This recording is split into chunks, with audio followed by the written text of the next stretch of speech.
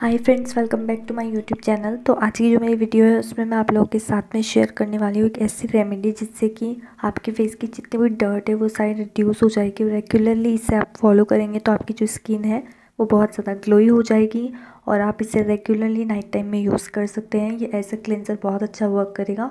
तो सबसे पहले क्लीन करना होता है अपने फेस को, इसलिए मैं रोज़ वाटर से अपने पूरे फेस को क्लीन कर रही हूँ।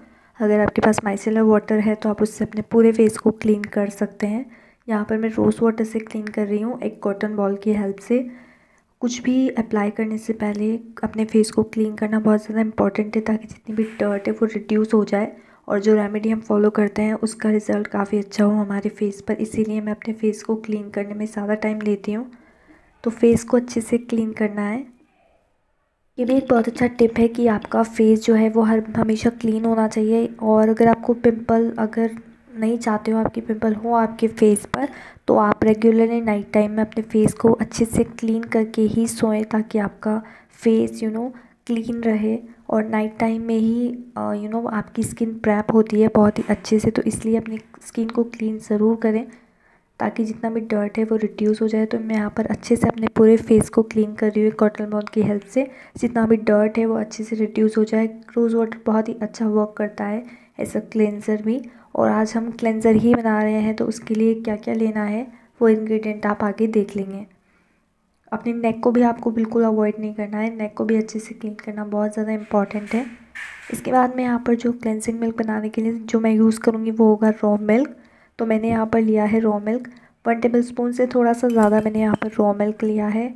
और इसमें मैं ऐड कर लूँगी रोज़ वाटर रॉ मिल्क के बहुत सारे बेनिफिट्स हैं और आपको रॉ मिल्क ही लेना है।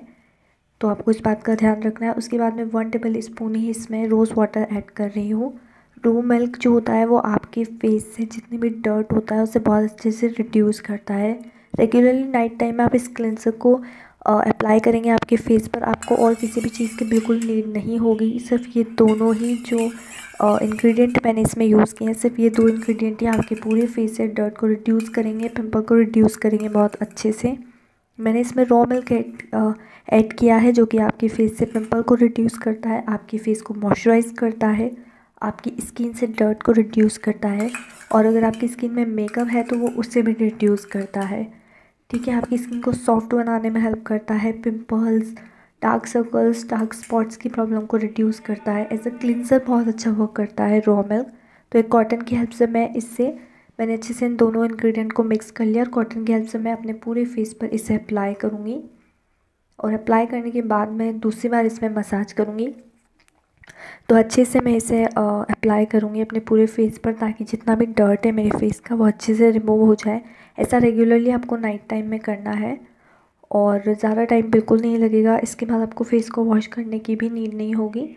यानी फ़ेस वॉश नहीं करना पड़ेगा आपको। फ़ेस को वॉश कर लीजिए और फेस वॉश यूज़ ना करें तो भी चलेगा। इससे आपकी स्किन बहुत ज़्यादा अच्छी हो जाएगी, बहुत ज़्यादा ग्लोई हो जाएगी।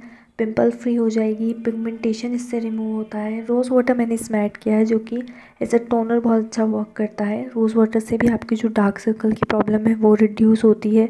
पिगमेंटेशन की प्रॉब्लम रिड्यूस होती है काफ़ी हद तक।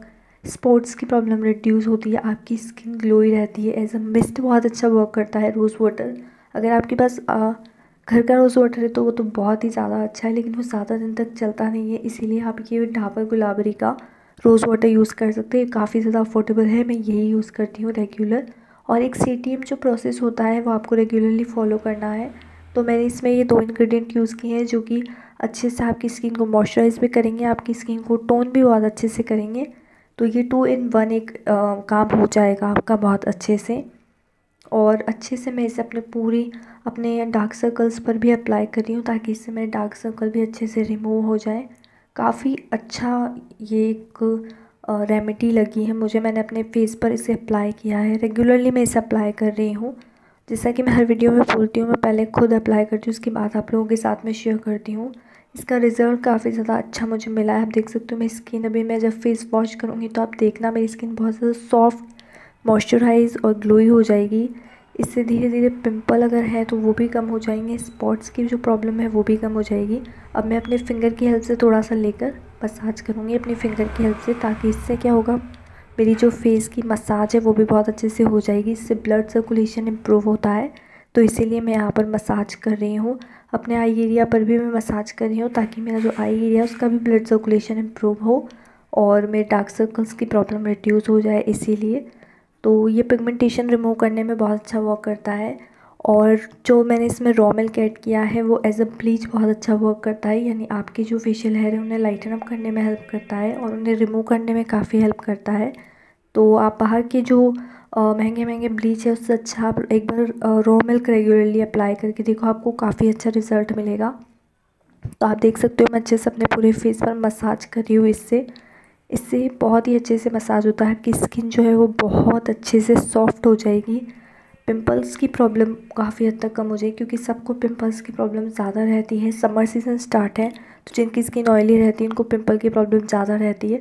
तो अब मैंने यहाँ पर एक ड्राई कॉटन पॉल लिया है और इससे अपने पूरे फेस पर जितना भी मैंने मिल्क रोज़ वाटर का अप्लाई किया था, पूरा मैं इस और ड्राई कॉटन बॉल की हेल्प से क्लीन कर लूँगी और उसके बाद मैं अपने फेस को वॉश कर लूँगी।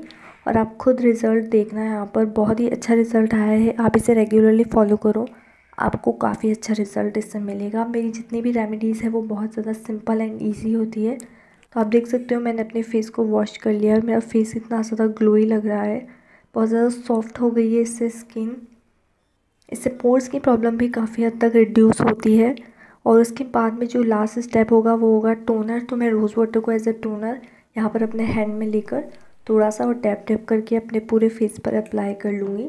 Rose water regularly night time में आप अप्लाई करो। इससे पोर्स की प्रॉब्लम रिड्यूस होती है। आपकी फेस पर एक ग्लो रहता है। समर सीज़न है तो समर सीज़न में आपको मिस्ट लगाना चाहिए और इस टोनर को आप फ्रिज में रखो। तो आई होप वीडियो पसंद आया होगा। मेक श्योर वीडियो पसंद आया तो वीडियो को लाइक करें शेयर करें और मेरे चैनल को सब्सक्राइब करें। आप ग्लो देख सकते हो। मेरे फेस पर काफ़ी अच्छा ग्लो आया है। तो मिलते हैं मैं नेक्स्ट वीडियो में। वीडियो पसंद आया है, आप अपने फ्रेंड्स के साथ शेयर कर सकते हैं और सब्सक्राइब टू माई चैनल